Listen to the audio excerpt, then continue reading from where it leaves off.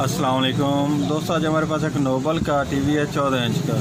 ٹھیک ہے جی۔ اس میں فالٹ یہ ہے کہ اس کی سفید سکرین ہو چکی ہے، وائٹ، اور بریک بریک لائن بھی ہیں اس میں، کیا آپ آپ دیکھ لیں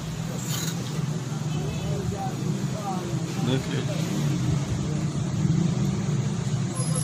میرا نام محمد الطاف ہے، میرے چینل کا نام ہے سٹار الطاف الیکٹرانکس۔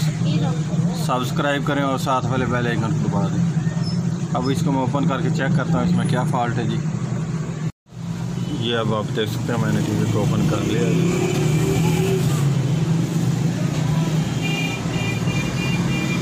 اب ہم اس کے وولٹ چیک کرتے ہیں جو اس کو اسکرین پر جاتے ہیں۔ کیونکہ اس میں ڈسپلے بھی آ رہی ہے، اس کے باوجود اس میں لائنہ ہیں۔ چیک کر لیتے ہیں اسکرین وولٹ نہ ہو، بڑے ہوئے ہوں فلائی بیگ سے۔ یہ ان کا بھی فالٹ آتا ہے۔ اب میں چیک کرتا ہوں۔ یہ اس کے اب میں آپ کو سپلائی کے وولٹ چیک کرانے لگا ہوں۔ یہ آپ دیکھ لیں۔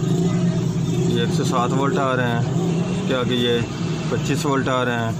اس کے نیچے یہ آ رہے ہیں بارہ وولٹ اس کے نیچے آ رہے ہیں بائیس وولٹ ٹھیک ہے جی۔ یہ جو ہمارا فالٹ ہے، یہ اکثر فالٹ آتا ہے ایک سو اسی وولٹ کا۔ جو اوپر یہ گنوں کے اوپر جاتے ہیں۔ ان پر۔ جو یہ اس کی ریڈ گرین بلو ہوتی ہے نا گن۔ ان پر جو وولٹ آتے ہیں، یہ ان کا فالٹ آتا ہے اکثر۔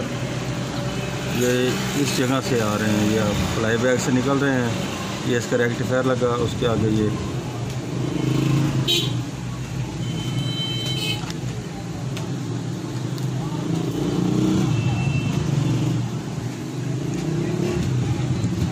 یہ اس کے وولٹ چیک کر رہے ہیں۔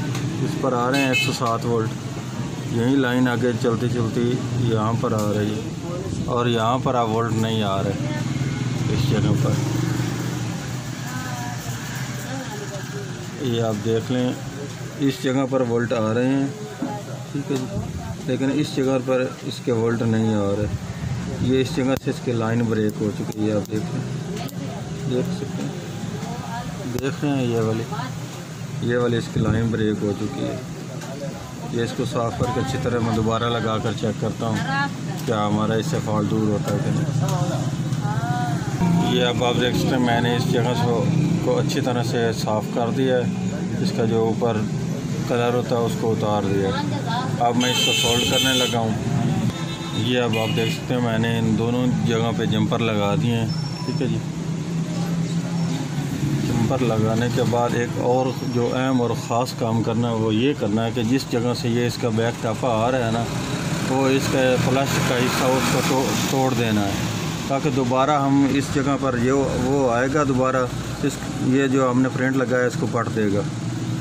ٹھیک ہے جی؟ وہاں سے ٹوٹ جائے گا، دوبارہ یہ ایسے رگڑ آنے پر یہ نہیں کرے گا۔ یہ بار بار رگڑ آنے پر یہ کرتا ہے۔ اب میں اس کو آن کر کے چیک کرتا ہوں۔ یہ اب میں آپ کو اس کے دوبارہ وولٹ چیک کرانے لگوں یہ اب آپ دیکھ سکتے ہیں اس پر ایک سو اسی وولٹ ایک سو پنتالیس وولٹ آ رہے ہیں۔ جہاں پہ ایک سو اسی آنے تھے۔ ٹھیک ہے۔ اور اب ہمارا ٹی وی چل رہا ہے۔ ٹھیک۔ ماں باپ کو اس کو فرنٹ سے بھی دکھاتا ہوں اسے۔ اس کا اس پھٹی کا یہ والا حصہ اس میں آتا ہے۔ ٹھیک ہے جی۔ اس چیز کو یہ والا حصہ اس کو میں توڑنے لگا ہوں۔ کیونکہ یہ کیٹ پر آتا ہے بار بار۔ یہ اب آپ دیکھ سکتے ہیں میں نے اس حصے کو توڑ دیا ہے کیونکہ یہ کٹ پر دوبارہ نہیں آئے گا۔ یہ اب آپ دیکھ سکتے ہیں ہمارا ٹی وی مکمل طور پر ٹھیک ہو چکا ہے۔ جی اوکے بھی ہے یہ ہے بہت ہی ہے۔ اگر ویڈیو اچھی لگے تو لائک اور شیئر کیجیے گا۔ جی دکھاتے ہیں وہاں پر چل کے پینٹنگز آپ لوگ بھی دیکھیں۔ آ جائیں میرے ساتھ۔